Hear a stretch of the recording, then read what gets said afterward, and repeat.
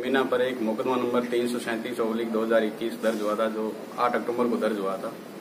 उसका अनुसंधान पुलिस थाना के उप सहायक उप निरीक्षक मगन खां के द्वारा किया जा रहा था। मगन खां के द्वारा इसके अंदर परिवादी के पुत्र है, श्रवण राम। उसका नाम निकालने के लिए अपने दलाल ताराराम के मार्फत पचास हज़ार रुपये रिश्वत की मांग की गई थी। ताराराम यहाँ थाने के पास ई मित्र संचालक एक है, जो यहाँ ई मित्र की दुकान चलाता है।